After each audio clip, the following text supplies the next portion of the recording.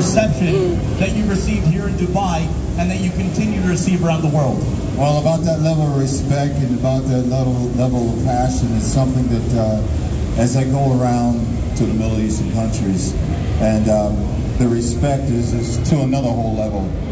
I get uh, a lot more love here than I do in America, and I always preach that, you know, because when we go home and we watch the media, the media doesn't always tell the truth.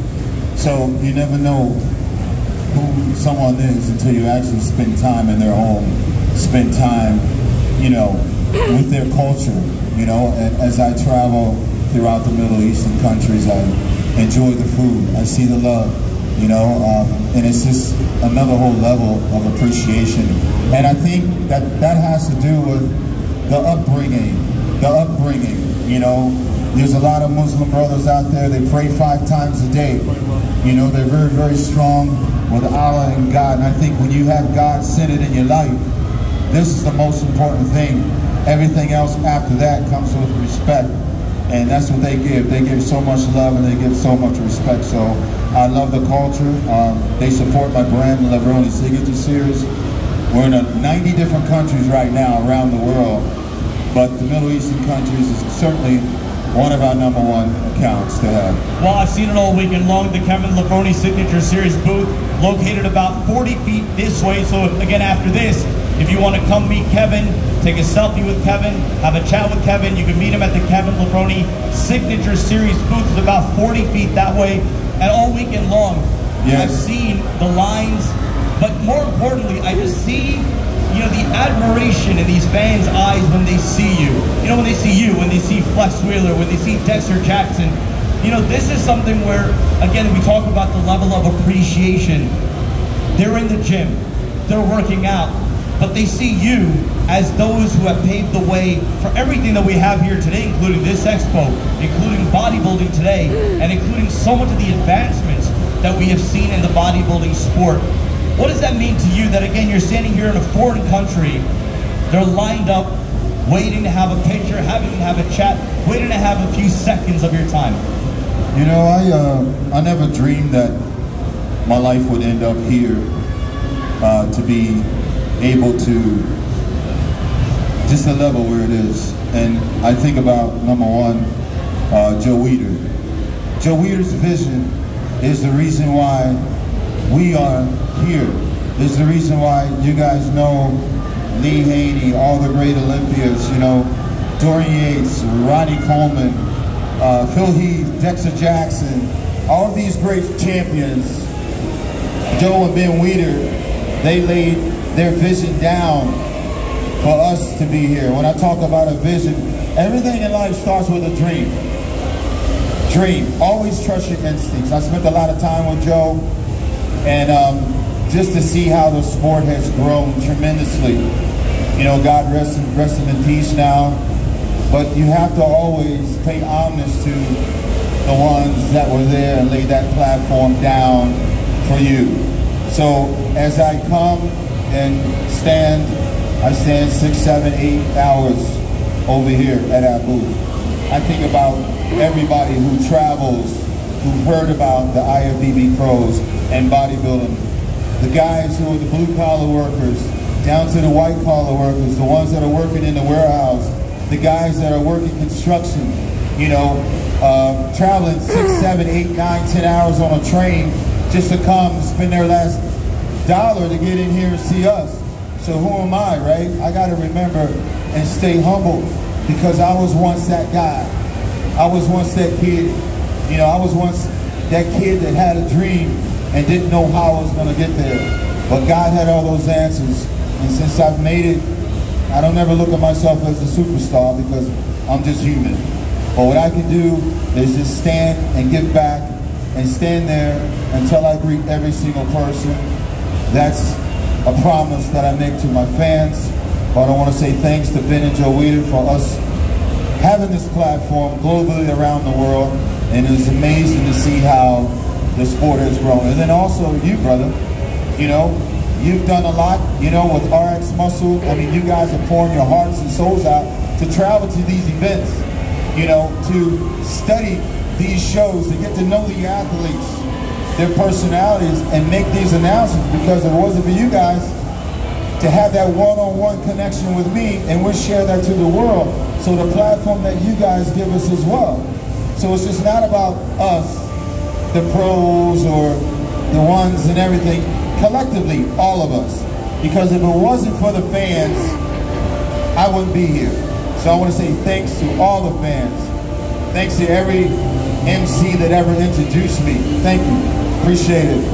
And just my advice to every single person out there in life just never forget where you come from and never think you're better than anybody else and always pass it forward no matter what and then God will take care of the rest. You know, we can talk bodybuilding all day, but one thing that I have noticed, and I appreciate the acknowledgement, you do mention God. You mention a faith-centric view that you have of life. Now, you mentioned again the Muslim faith.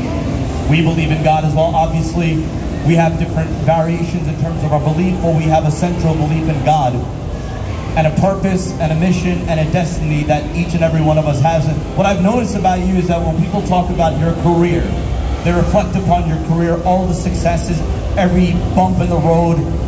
Again, we talk about the uncrowned nature, of the uncrowned king that you are. There was a plan for you.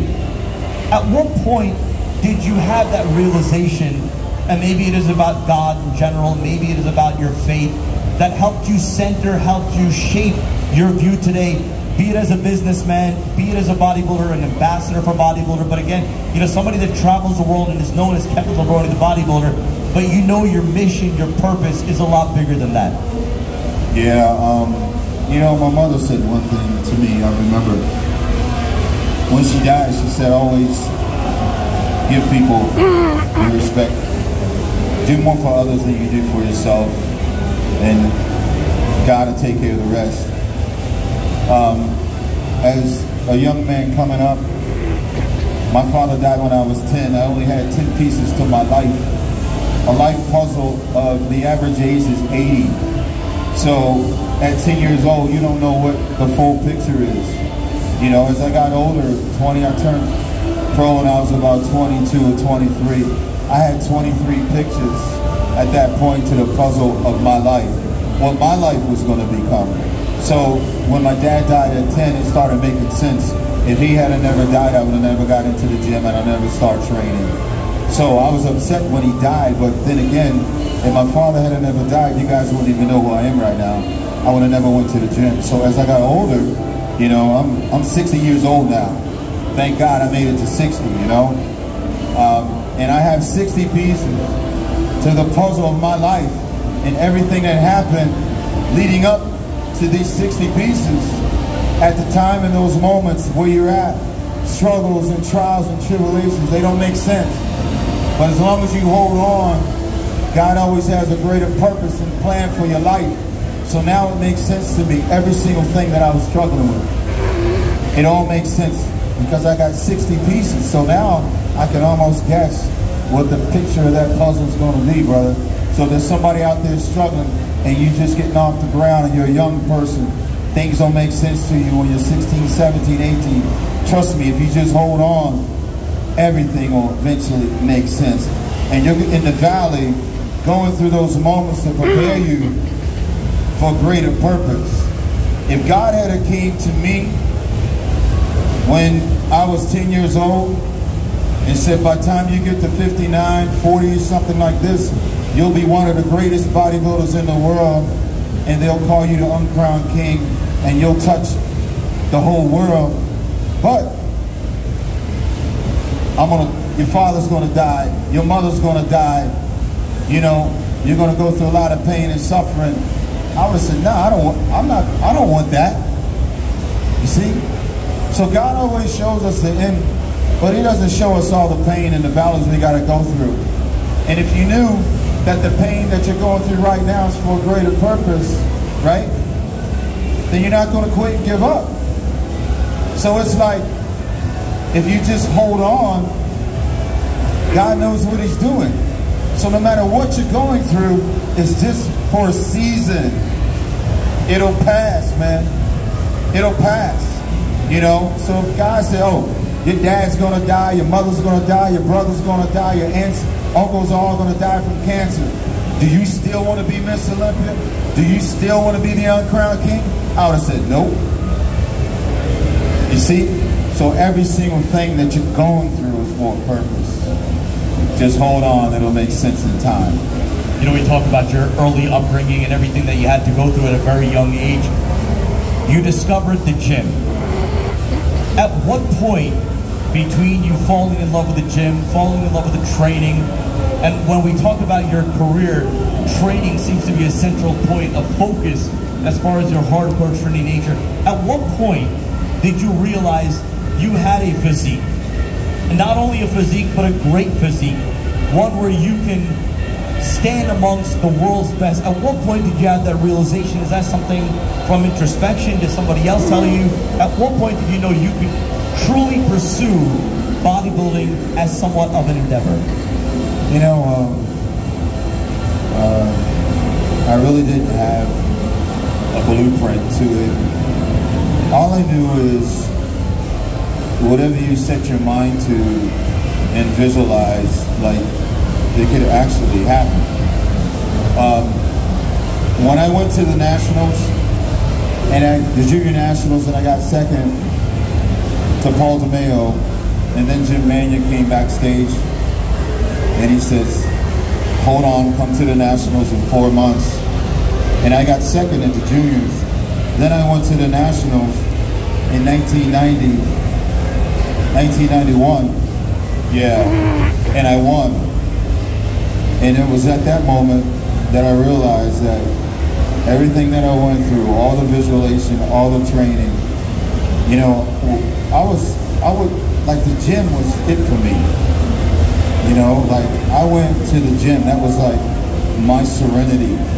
That was like my medication. I needed that to get over the pain that I was suffering through my father and mother dying from cancer. And I didn't know that it would just end up being something astronomical. And it did. And I think about it and it's still, it's almost like a blur to me. You know, because I didn't get into bodybuilding to be famous. I did it for survival, for just something to give me hope to continue to the next day. Um, I won the nationals. It happened pretty quick and it happened pretty fast.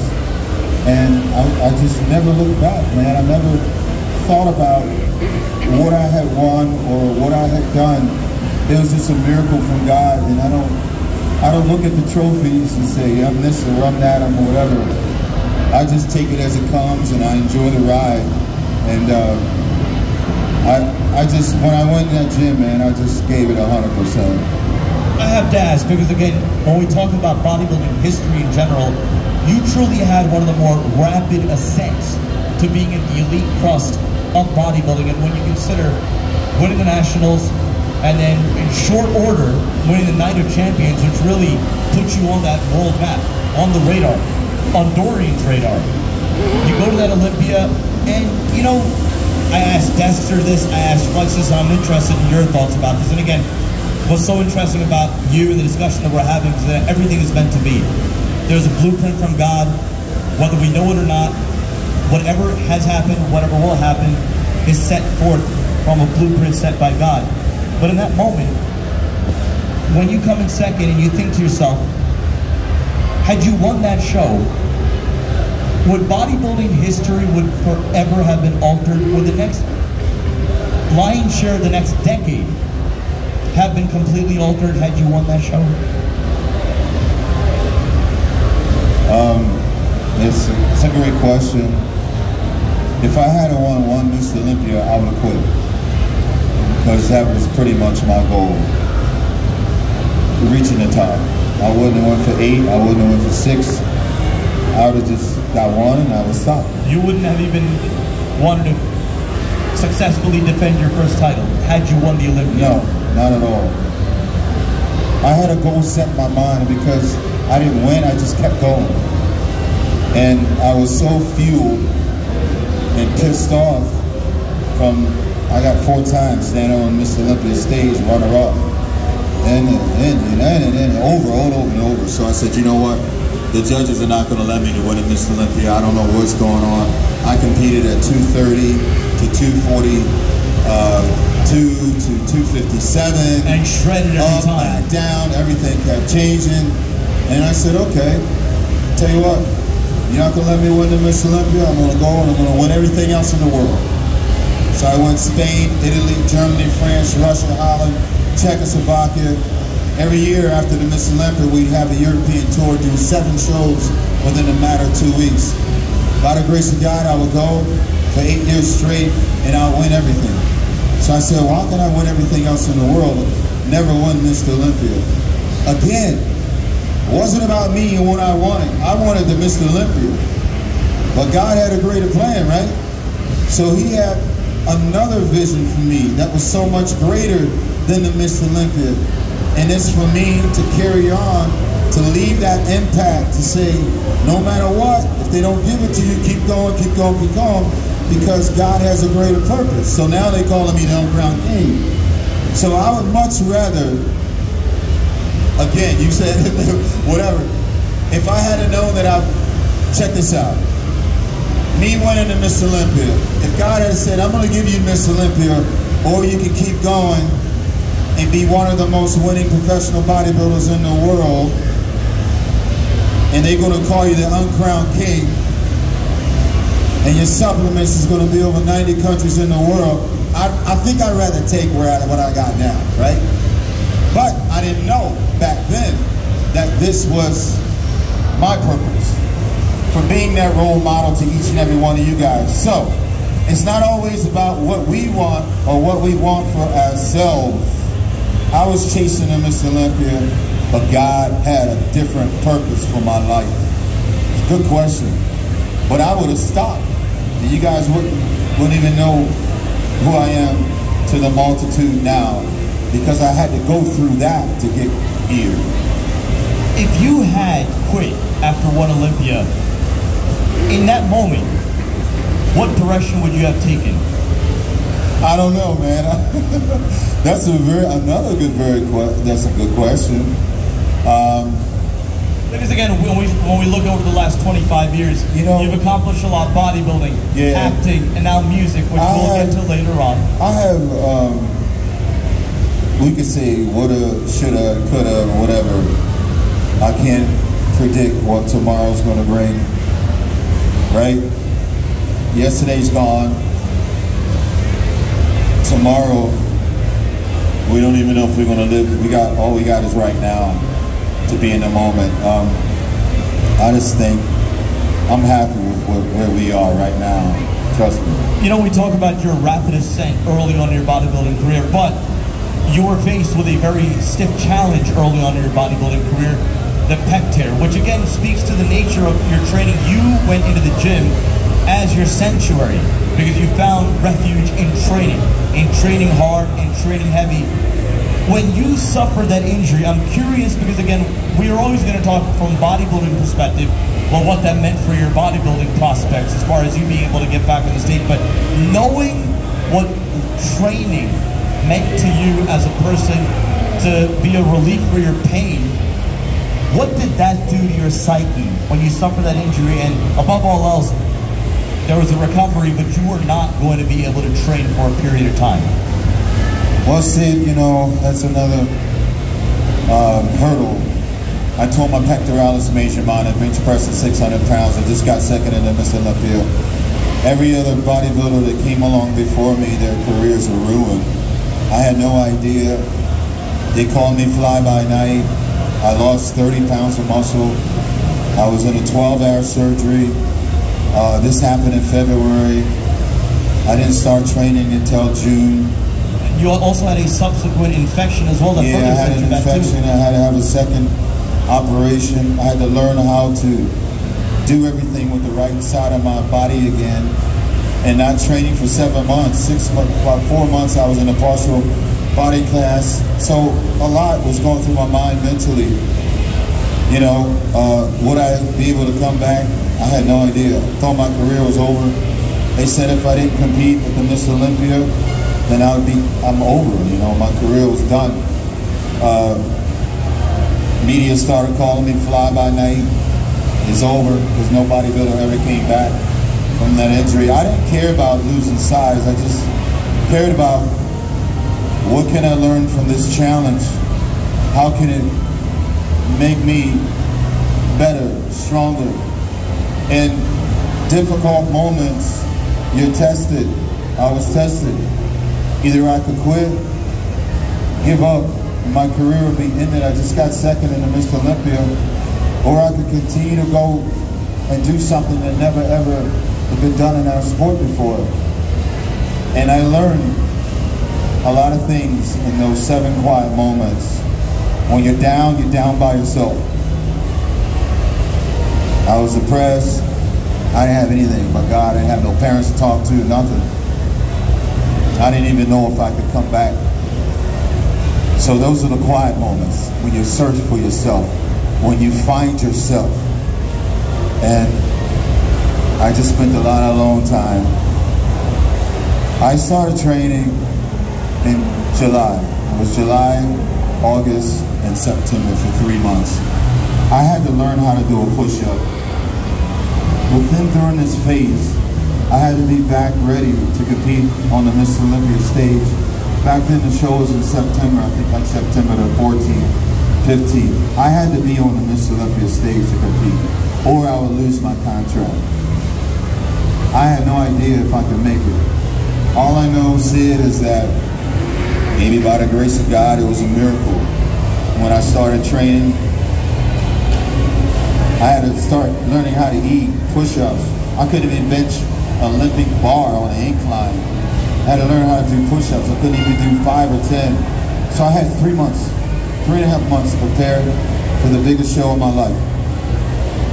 It was a miracle by the grace of God that I made it to the stage and I ended up getting fit that year. Then I realized the mind power. And I also realized that I didn't need to train all year round. And I also realized that muscle has memory. And then I also realized that I was a hyper responder. I was just oh, gonna go. If these things never happened to me, like when you think your life is falling apart, it's falling into place.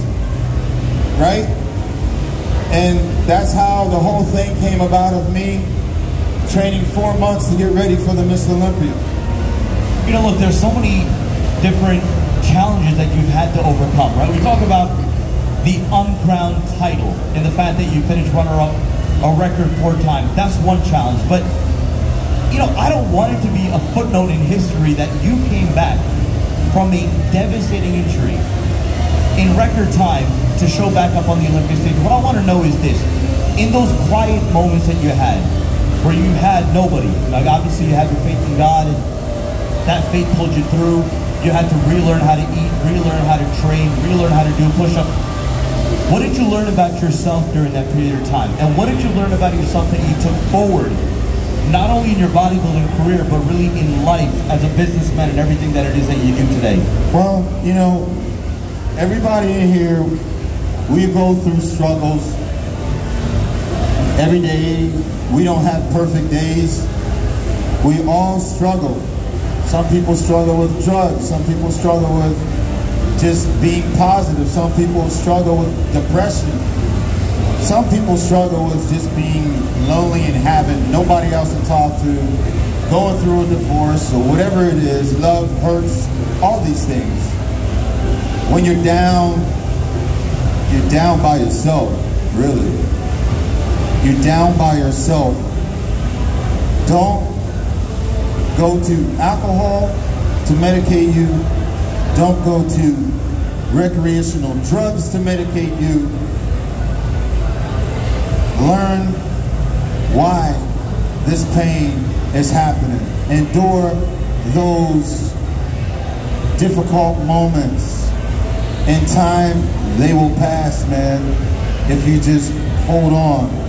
So coming through that hardship, I realized that almost no matter what happens in life, in your life, my life, it's only for a season, in a period of time and those scars and that pain and whatever it is, the health issues and all that, it's just preparing you to be a greater per person, to pursue greater things, to be a greater role model for other people.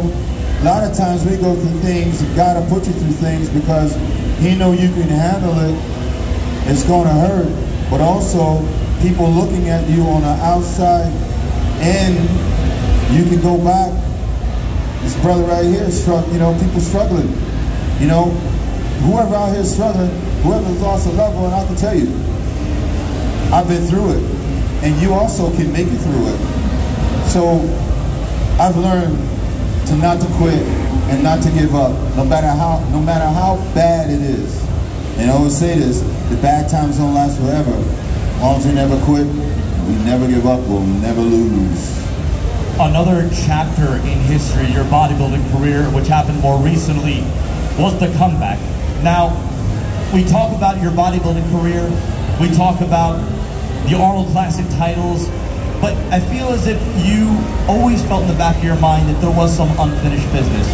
But we're talking about a 13-year hiatus between the last time you competed and then eventually coming back to compete at the 2016 Olympia. I want you to take us through the whole process, the mental process of, and it had to happen probably year over year that you wanted to come back. You wanted to come back. There was still a fire under you. Despite everything else that you have going on in your life, the acting ambitions, obviously we talk about the business, the supplement line, the music, but there are other multi-talented as you are. Bodybuilding is in your heart. Bodybuilding is your roots. And that you always felt that there was something more that you could give to the stage. What was that process like year over year? And then at what point did you decide, not only am I going to return to the Olympia, but it's going to be here and now in 2016, obviously at the peak of Phil Heath's prime. Take us through that process. And again, you know what's so interesting about this, because again, we're talking about everything that you've gone through early in life, early in your bodybuilding career. There's a very deep component mentally and spiritually when you make a decision. What was behind this decision? Behind this decision was when I went out, that was the only show in the world I never won. And it never made sense to me. How can somebody win every every single bodybuilding show in the world and not win the Mr. Olympia? And stand on the Mr. Olympia stage and get runner-up four times? So I knew that it wasn't about me. No matter what I did, they just wasn't gonna let me have it. So that was on their terms. I said, okay, that's cool. Stepped away, I retired 2003. Yeah. Try to carry on my life, you know, doing things. But deep down, when something just doesn't feel right, you know, somebody do you wrong, and you keep seeing them, right? If you wanted to tell somebody something, you know, they hurt you or whatever, but you gotta still somewhat be involved with that person or that industry. There's a little bit of, you know, kind of pissed me off a little bit. So here I am trying to figure out how to go on my life and live with this. Watching other started changing hands. You know, Dexter will win. I beat Dexter before. I actually beat Ronnie before. I beat everybody except Dorian. So other champions, if you see it now, the change of guards, the change, the change, the change. I was like, wow, okay. So this is different. Different judges, different time, different era. I had that thing down in the basement like Rocky said, right? What, what, what, did you say? Rocky said, burn it down there, right? You gotta go revisit it. I was wondering which which Rocky are you talking about Yeah. So Rocky Five, where Yeah. nothing's gonna hit you as hard as life. if there's something in life that's bothering you about your past, go clean it up and go make it straight. 14 years I walked away from a sport that I completely loved, but it just didn't make sense to me how come I didn't have a Mr. Olympia? So I went back and I revisited. I had those little haunting voices, right? Ah, something's not right. Ah, something's not right. Ah, yeah, am I good enough? Yeah. Well, that person got it and I beat him before. That person got it and I beat him before. Hey, what's going on? So I had to go back.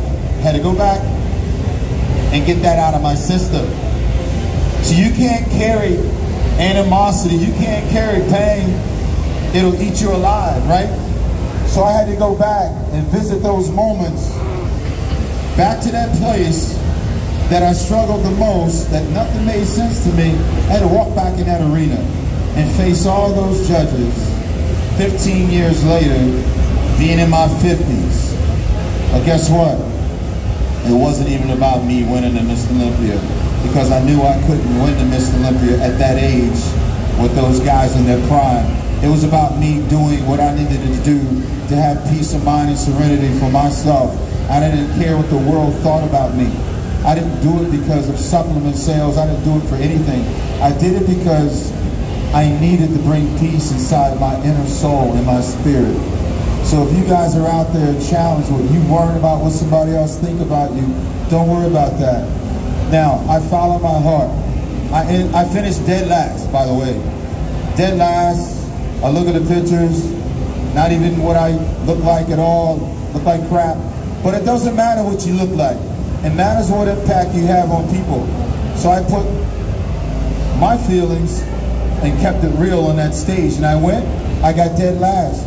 But I want to tell you, out of all of the 15 Miss Olympias that I did, that one was the most meaningful, the most loving, the most caring. Everybody stood up, gave me a standing ovation.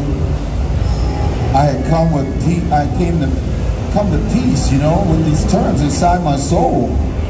And I was able to be a complete human being and a man, right? And I was able to carry on to the next level of where I'm at now because I had to go back and fix it and make it right. Not to be lost in this, when Kevin Levrone announced that he was going to be competing at the 2016 Olympia, that ushered one of the most exciting pre-Olympia periods maybe of the last 15 years. There was so much excitement that the legend Kevin Levrone was going to make his triumphant return to the Olympia stage. And obviously, yes, go up against the likes of a Phil Heath. But I have to ask you, when you walked off that stage, and now that you reflect back on that period of time, you have peace. Do you feel content? Is that chapter fully closed for you in the sense that you did what you wanted to do? Absolutely, Sid. Absolutely. It is, man. Like, everything that I say out of my mouth, I'm just saying it from experience. You know, you can't worry about what other people think about you. You can't worry about if you're good enough. You can't worry about what somebody else is doing, what they look like. You know, I stood in the middle of, was it Phil Heath and Dexter Jackson? Right? Those guys who was in their prime. I, and, and guess what? I was cool with the judges. You know why? because they put me out there and gave me a shot. And that's all I wanted was a shot at the title, right? So that was like that mental therapy. So I was like, thank you, judges. Thank you for allowing me to come out here and get this out of my system. Thank you, Mr. Olympia. And thank, you know what I mean? I needed it, man. It was this therapeutical moment. So I challenge each and every one of you guys whatever you're faced with, whatever you're afraid to deal with, whether it's a job or a loved one, or you don't think you're big enough, or you don't think, wow, you know, you don't like the way you look in that mirror. Trust yourself, trust your instincts. Don't matter what nobody else say about you. What matters is you being at peace with yourself. And at the end of the day, it didn't matter what I looked like on that Miss Olympia stage. I got dead last, but it was the most impactful show that I've ever did in my life. It impacted you guys, the thought process of it. So be who you are in your weakness. Be who you are in your pain. Be who you are and your doubts and share them with people next to you because you can save their lives because they need your help. And you give them help by going through your pain. Your pain can actually save somebody else's life. That's why I say one love. We give to each and every human being and people we come in contact with. Don't hold that love back, man. Be honest with yourself and embrace it. And you'll see how many other people are out there struggling with life choices and don't know what to do. You know, just just keep it real and pass it forward. You know, there are many reasons why these adoring fans look up to you, but what's so cool is that I talked to a lot of the top Olympians today, some of the younger guys coming through the sport, and you know, you ask them who is their idol, and your name and Flex Wheeler are the two that always seem to come out of their mouths. And you know, there's a reason for that. For one, obviously your physique. But then two, and one of the things that I'm very keen to speak to you about, and I think so many people here, you know, enjoy when you talk about, is training. Now again, when we go back to the root, training was your sanctuary. The gym was your sanctuary. Training was your relief. But when we talk about training, training has evolved a lot from your day to now. There's a lot more inclusion of machine training, machine training, the advanced technology, but you, when you were in that gym, it was hard, it was heavy, it was free weights. Talk to you, talk to us, talk to the audience about your spirit of training, your approach every time you went into the gym, and then yes, free weights versus machines, which seem to really be nuclear warfare now in terms of how many different gym equipment companies are there today, the variations of the machines. Well, I mean, the gym, the gym, it was my therapy. My mind is kind of going back, you know, through the, the process. You know, you you're taking me on a journey now, bro. You know, I gotta go way back into some deep feelings and emotions of why I even did all that stuff in the gym. You know, and even now, I won't even go into a gym and climb underneath a bench press or incline and even try to do anything because of mindset. The mindset for me when I was training in the gym was to go in and seek and destroy every single muscle group that I had on my body, endure the pain and endure the suffering. And I enjoyed it. I went to the gym, four o'clock in the morning. I would do an hour cardio.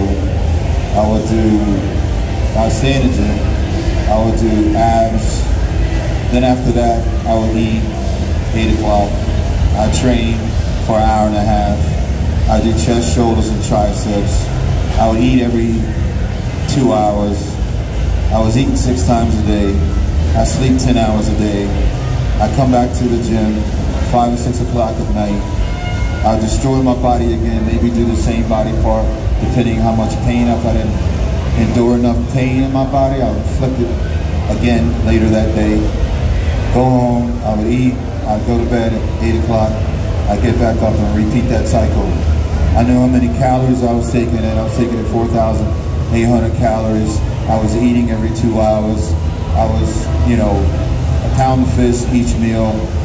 Um, so me going back to those moments, it's almost like, you know, um, the pain, the torture, and all that stuff. I endured it. I, I loved it because I was learning about my body, how much torture my body could handle. I went into the gym to see how much I could bench, to see how much I could squat, and for me, that there was me against the, that iron weight. You know, but the reward was when I walked out on stage. But the pain and suffering was the soreness that I felt from training. My workouts would last an hour, hour and a half. I didn't talk. I, I didn't walk around in a tank top. I stayed covered up.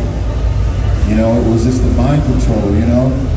I didn't go to family reunions. I didn't talk to my brothers. I didn't talk to my sisters. I stayed locked away for three or four months because I only did it for about four months. And I could only maintain this type of mentality for four months. I didn't go to the movies, I didn't celebrate birthdays, I didn't celebrate holidays. So for me, going into the gym is absolutely my sanctuary. You know, I respect that weight. Through that weight, I found myself. I found who I was as a human being, how much pain I could take, and how long it would take my body to heal. I knew that if I worked out 16 sets per muscle group, chest, shoulders, triceps on Monday, legs on Tuesday, take, you know, back and buys, take, you know, day three off, three on and one off, and I did this, da, da, da. Program machine, man, you know, and I saw my body changing. I would gain three, four pounds of muscle a week, but I knew exactly the mathematical equation and everything. So for me, this is another whole level. And at that level, that's what it took for me. And compared to now when I see people talk about first topic or whatever they say is steroids. Success from steroids don't come out of success from what we endure, the pain, that suffering.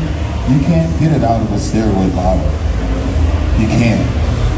Like it's another whole whole level of psyche. Nobody can teach you this unless you're willing to suffer and endure the suffering.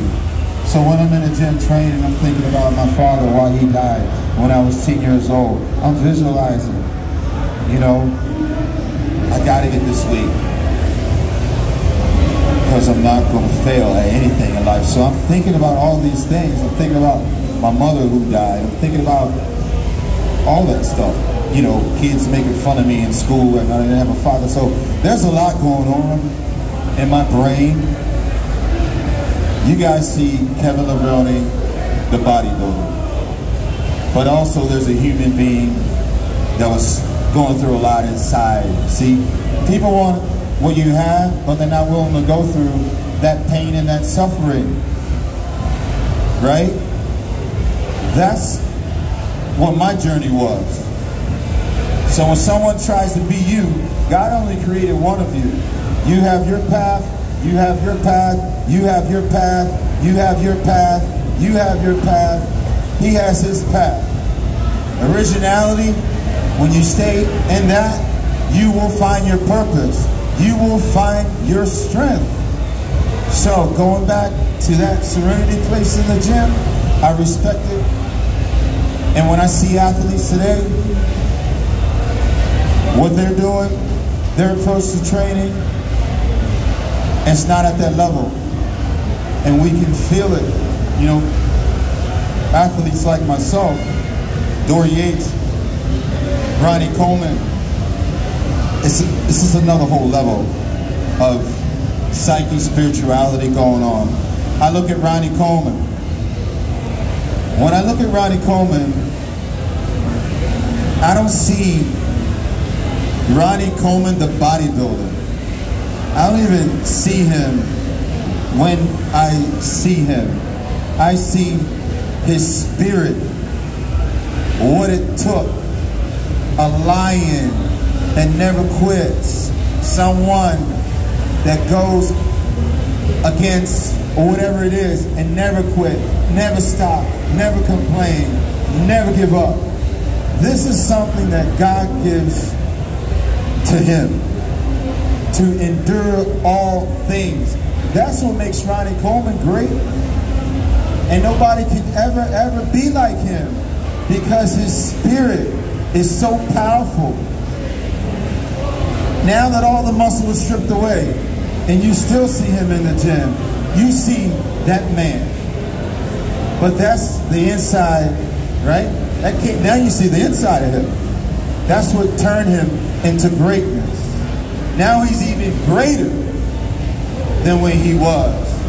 You see? That's incredible. And that right there, my friend, doesn't come out of a steroid bottle, man. So when you guys, these guys out here wanting this, this and that. Nah, find out who you are, endure the pain, and just hold on. I respect the sport because the sport's taught me a lot to believe in myself. Because I laid it down, I laid my life down in that gym. So did Ronnie. Ronnie laid his life down in the gym. Yates, you gotta respect that. You see, it wasn't taken off of a shelf.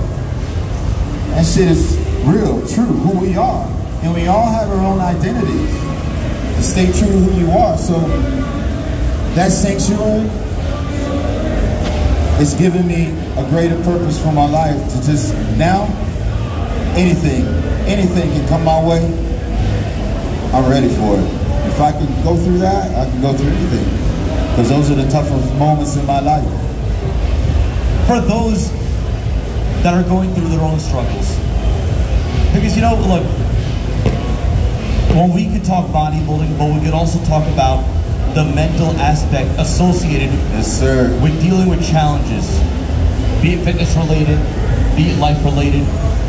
Obviously, advice coming from you is going to resonate with these fans because they have seen you in their prime, in your prime. They've seen you on stage. They've seen you in your full glory as a bodybuilder, as a businessman, as a as an icon of the sport, as an ambassador of the sport. Your advice for somebody going through a rough chapter in life, it could be anything. It could be personal. It could be financial related. It could be blasting through a plateau in their own fitness goals.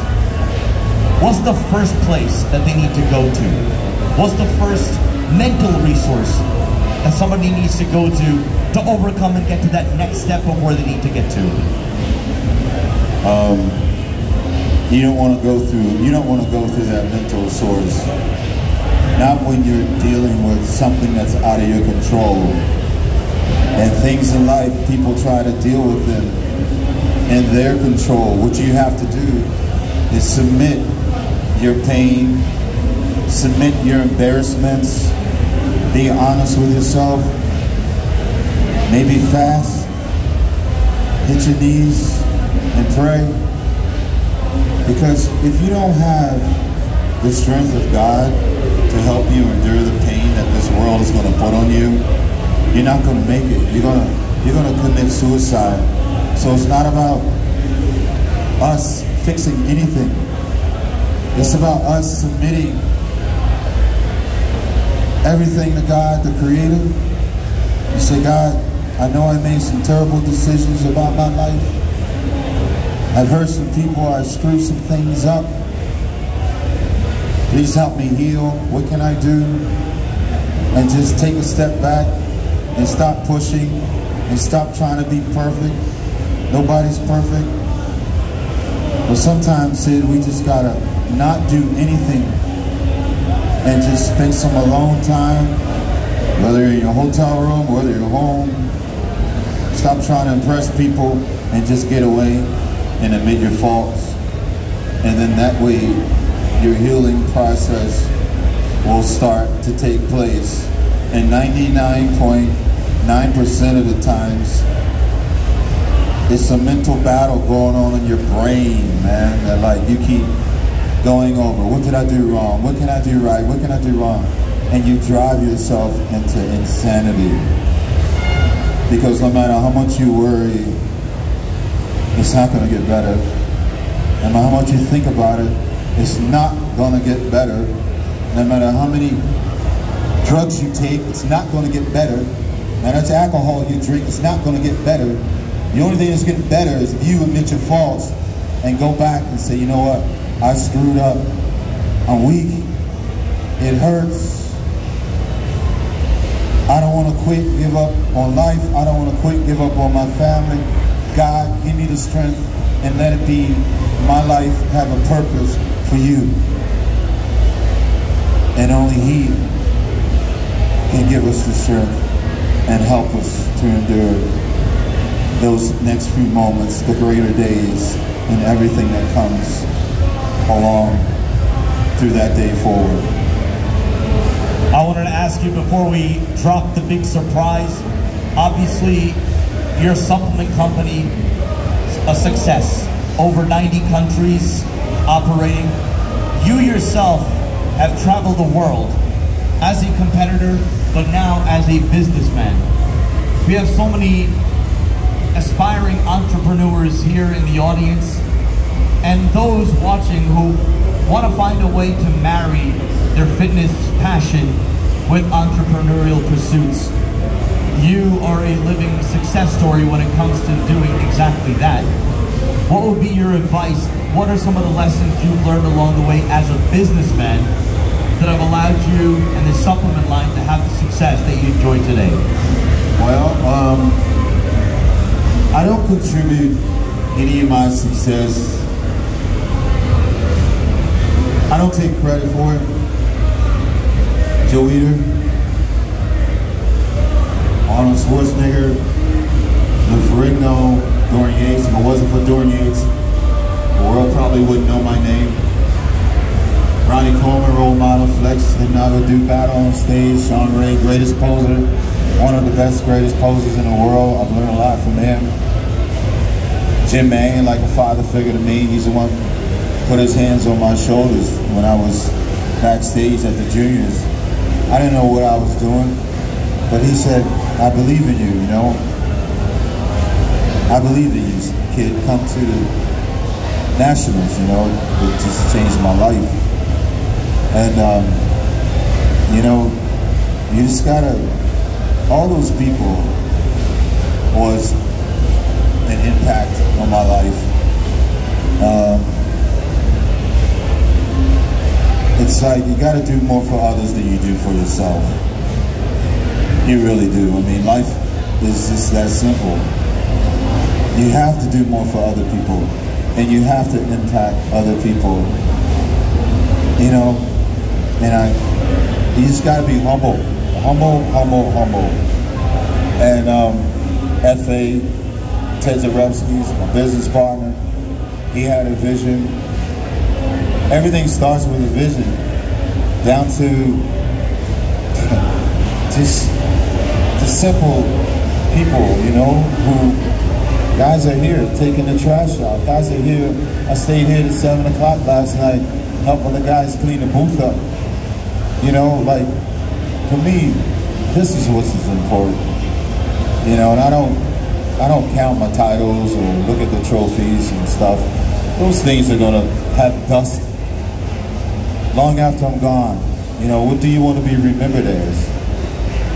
And that's what I think about, you know. Um, what, what can I do like now, this conversation? And I think when you do these things, life will take, your life will take that path that it needs to take. Um, just be humble. Don't think you're better than nobody else. I'm grateful for everything, every opportunity but I didn't do it alone. You know, I have Calvin Klein, stand up, stand up, Calvin Klein. This guy right here, Levrone Signature Series, he's been with me for eight, nine years since day one. He's going to every show, putting up all the booths, you know, stocking the shelves, you know, driving four, five, six hours on planes flying. He's married, he's got his wife and family home, away from his kid, you know. I gotta respect that. You guys just see me, but there's a lot going on, you know, behind each and every one of us. Anna, stand up, Anna, stand up. She's great.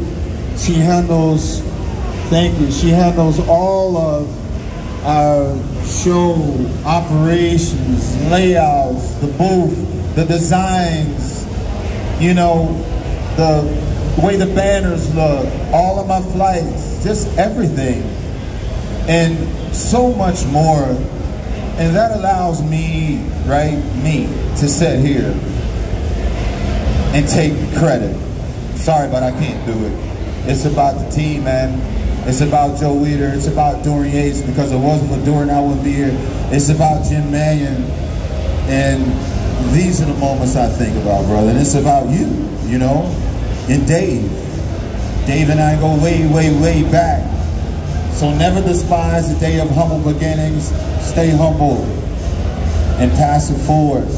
Because the second you start thinking that it's about you and you're a superstar and you're this and you that, God will bring you down real quick.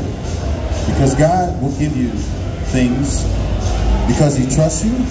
The second that you lose his trust, he'll take it from you because you didn't honor him and the gifts that he's given you.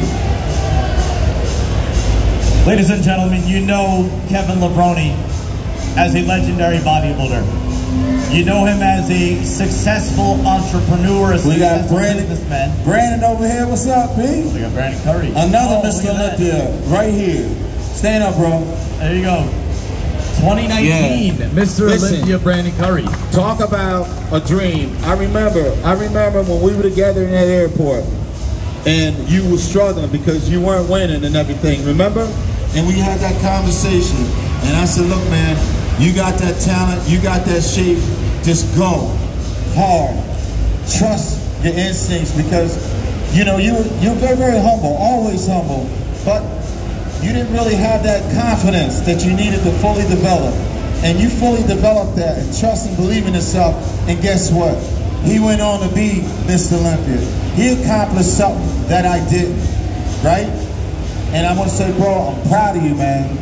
You know what I mean? And you accomplished that. Family man, and he's incredible. So always follow follow that right there like my man B did, bro. I appreciate you, you know? And you never know, like he never knew that he would even be Miss Olympia. But he made it, he made it to that top. And you are, and he's going down in history because he never quit and he never gave up, no matter what happened to him. I respect that. Well, Let's ladies and ready, gentlemen, get ready to come up. Coming up next, right? Yep, B? yep, exactly. But How much time we got? We're pushing it. But we have to drop a very special surprise on you. Again, you know him as a legendary bodybuilder, as a successful businessman. Some of you may also know him as an actor as well. But what you might not know is that Kevin is actually a very talented singer. And to prove that, I think Kevin, the fans want to hear you drop some bars. Who wants to hear Kevin Levrone sing? I think this is happening. Kevin Levrone's Dubai we have to debut. do it? You can drop a couple of bars. All right. Here we go. Um, actually, you know what? I um, there's a song. Recorded this song, and I actually made a video. Made a video to the song when I think I was in. Uh, what country was that? Um, Austria. Yeah, I was in Austria, and uh, we did this song. We did a rendition, rendition of uh, "Stuck on You" by Lionel Richie. I don't know if you guys familiar with that song. Did you guys see my video on YouTube?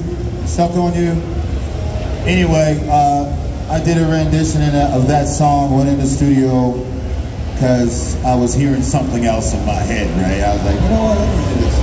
So I went to the studio, laid it down uh, with me and a friend of mine, uh, Matt. I played guitar and stuff on that, and uh, just kind of want to want to share a little bit of a bit of it with you guys. Is that cool? Here we go, ladies and gentlemen. Kevin Levrone. You put me on you put me on the spot. That's what I do. But um, I want to say thanks to uh, Sid, man, for uh, It's been my pleasure. for just being It's been my are, pleasure. So, let's see if we can do this. You ready? Stuck on you. I got this feeling down deep in my soul that I just can't lose. Guess I'm on my way. I needed a friend, and the way I feel now, I guess I'll be with you to the end. Guess I'm on my way. I'm mighty glad you stayed. Mighty glad to stay, y'all. Dubai Muscle Show, baby. Ladies and gentlemen, a warm round of applause for the legend himself, Kevin Levrone. Stuck on you. Been a fool too long. I guess it's time for me to come on home. Guess I'm on my way. So hard to see that a woman like you could wait around for a man like me. Guess I'm on my way. I'm to stay. Yeah, you guys having a good time? Is there anything this man can't do?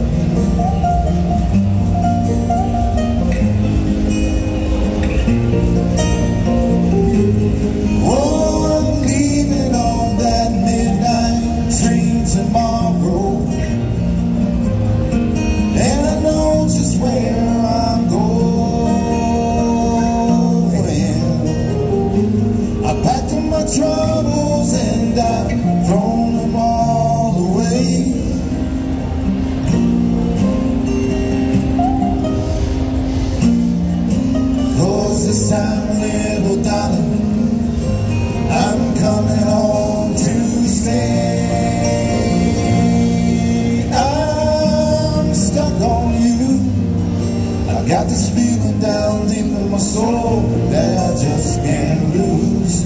Yes, I'm on my way. I needed a friend. And the way I feel now, I guess I'll be with you till the end. Yes, I'm on my way. Thank you guys. Thank you very much.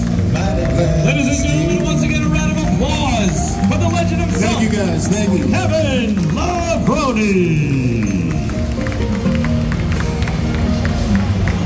Well, thanks a lot. Let's give it up for Sid in the house. Appreciate you, bro.